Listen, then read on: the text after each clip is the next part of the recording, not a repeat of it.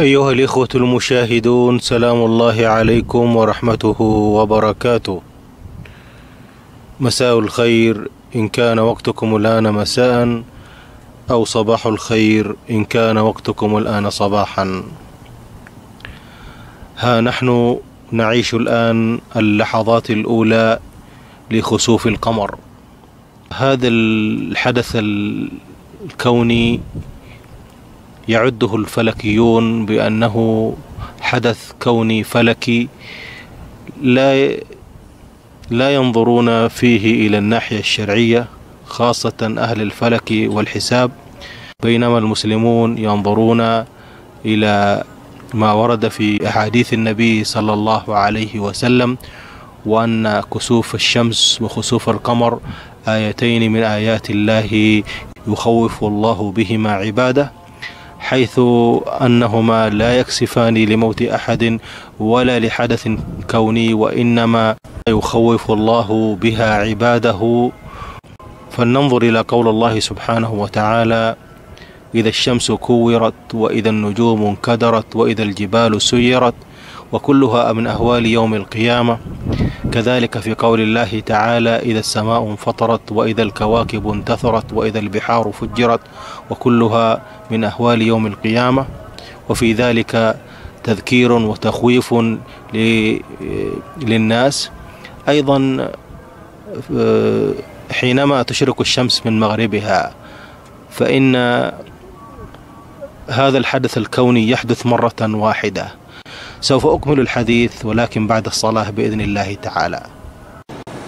أيها الإخوة المشاهدون وبعد ساعة إلا عشر دقائق تقريبا انتهت الصلاة وإمامنا لم يطول كثيرا. عندما خرجت وجدت القمر بهذه الصورة. وإذا خرجنا وهي بهذه الصورة فنكثر من الاستغفار والصلاة على الحبيب صلى الله عليه وسلم والدعاء بالمغفرة وحسن الختام.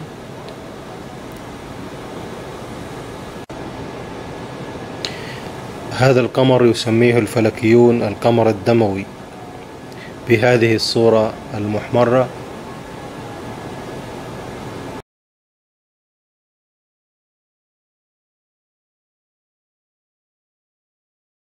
هناك أمور أود الحديث عنها لما كسفت الشمس على عهد رسول الله صلى الله عليه وسلم.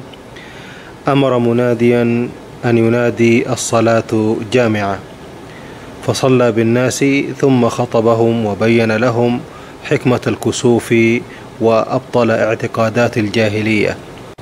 بين لنا النبي صلى الله عليه وسلم ما ينبغي أن يفعلوه من الصلاة والدعاء والصدقة. فقال عليه الصلاة والسلام إن الشمس والقمر آيتان من آيات الله لا ينخسفان لموت أحد ولا لحياته فإذا رأيتم ذلك فادعوا الله وكبروا وصلوا وتصدقوا. ومعنى ذلك أن المسلمين لا يعرفون موعدا للكسوف لكن متى حدث سارعوا إلى ما شرع الله لهم من الصلاة وغيرها. كانوا عند حدوث الكسوف يخافون أن يكون منذرا بنزول بلاء فيلجؤون إلى الله بالدعاء أن يصرف عنهم ما يحذرون. في العصر المتأخر أو في, أو في الوقت الحاضر الآن الحسابات الفلكية وعلم المختصين بذلك يدركون وقت الكسوف فيعتقد البعض بأن هذا الأمر ليس كما ورد في السنة أو كما ورد في شريعة الإسلام أو لا يهتم بذلك ما هي إلا ظاهرة فلكية وهذا خطأ عقائدي كبير. على المسلمين أن يفعلوا ما أمروا به عند حدوث الكسوف ولو كانوا قد علموا بذلك من قبل.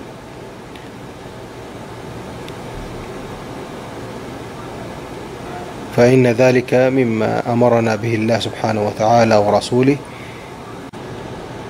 في السنة النبوية المطهرة ذكر أو بين النبي صلى الله عليه وسلم بأن حدوث الكسوف والخسوف ما هو إلا تخويف من الله لعباده ولا الواجب على المسلم التسليم لحكم الله تعالى والعمل بشرعه والإيمان لحكمته. ولأن الكسوف الشمس وخسوف القمر آيتان من آيات الله يخوف الله بهما عباده ويذكرهم بعض ما يكون يوم القيامة. كما في قوله تعالى إذا الشمس كورت وإذا النجوم انكدرت وإذا, وإذا الجبال سيرت وفي قوله تعالى إذا السماء انفطرت وإذا الكواكب انتثرت وهذا على وجه التخويف وقد كان النبي صلى الله عليه وسلم من شدة خشيته لله قد خرج فزعا يظن أن الساعة قد قامت لما كسفت الشمس في عهده. وهذا من قوة استحضاره لقيام الساعة وشفقته على أمته.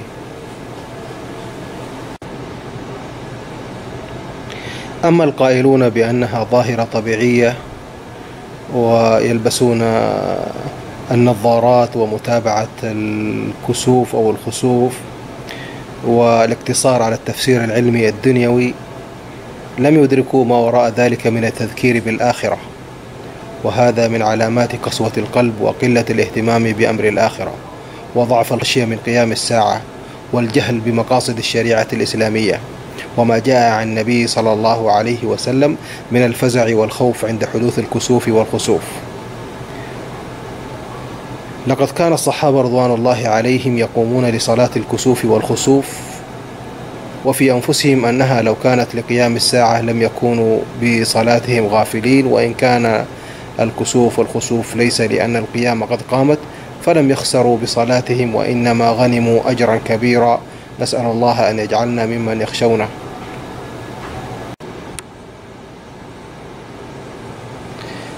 الذي أثر عن النبي صلى الله عليه وسلم أن الصلاة تكون حتى تنجلي آه، ينجلي الخسوف تماما. لكن آه، أحوالنا تغيرت. على كل حال آه، نترك ما بقي من هذا الخسوف في التسبيح والتهليل والاستغفار والتكبير. ونسأل الله عز وجل أن يغفر لنا ولكم وأن يتقبل منا ومنكم وأن يعفو عنا وعنكم. على كل حال هناك معلومة لأربعة أعوام متتالية 15 12 1436 كان هناك خسوف. في 14 12 1437 للهجرة كان هناك خسوف. في 16 11 عام 1438 كان هناك خسوف. في 14 11 عام 1439 هذه الليلة خسوف كلي دموي كما يقال عنه. أربع خسوفات متتالية وما زلنا في غفلة. نسأل الله عز وجل أن يغفر لنا.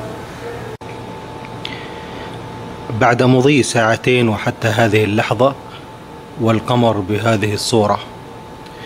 سوف يستمر لمدة أربع ساعات في أطول خسوف منذ آه، قرابة القرن تقريبا. 83 عاما. بالنسبة آه، للذين يؤمنون بأقوال الفلكيين ولا يصدقون أحاديث النبي صلى الله عليه وسلم وقعوا في محظور كبير جدا جدا. ولا نقول إلا حسبنا الله ونعم الوكيل. آه، تجد أن الكثير من الردود في مواقع التواصل. تجد أن الغالبية ينسب مثل هذا مثل هذا الخسوف إلى أنها ظاهرة فلكية والحقيقة أنهم بعيدون كل البعد عن آه، سنة النبي صلى الله عليه وسلم. شاهد القمر معي يختفي سبحان الله في السحاب. ربما في السحاب يختفي قليلا. على كل حال أنا أقول أن مثل هؤلاء يجب مناصحتهم آه، بما قال الله وقال الرسول صلى الله عليه وسلم فإن لم يصدقوا فدعوهم واتركوهم. هؤلاء أنا أقسم بالله لو غدا أشرقت الشمس من مغربها لقالوا بأنها ظاهرة فلكية. هؤلاء لا يصدقون حتى يروا الحقيقة والعيان أمامهم. أه نسأل الله العفو والعافية والحمد لله الذي عافانا مما ابتلاهم. نحن نؤمن بما قال الله وقال الرسول. أما الذين يؤمنون بما قاله الفلكيون فأخشى أن يحشروا معهم. والله المستعان. نسأل الله الهداية آه، لكل من ضل عن طريق الحق. خذوها مني قاعدة وهي أن جادلهم بالتي هي أحسن فإذا لم ينفع معهم فدعهم ولكن ذكرهم بأن الشمس تخرج من يعني هذا مهم جدا الكلام هذا مهم جدا أرجو الانتباه وتطبيقه على المعارضين. قولوا لهم بأن الشمس سوف تشرق من مغربها. ولقد أخبرنا النبي صلى الله عليه وسلم أنها من علامات آه، الساعة الكبرى أنها من علامات الساعة الكبرى. ولذلك آه، يعني آه، مثل هؤلاء لجهلهم وبعدهم عن دين الله تجده حتى لو أشرقت الشمس من مغربها لقال بأنها ظاهرة فلكية. في هذه اللحظات تقريبا بعد الساعة الثانية عشرة وأربعين دقيقة بتوقيت مكة المكرمة. آه، بدأ الآن ينجلي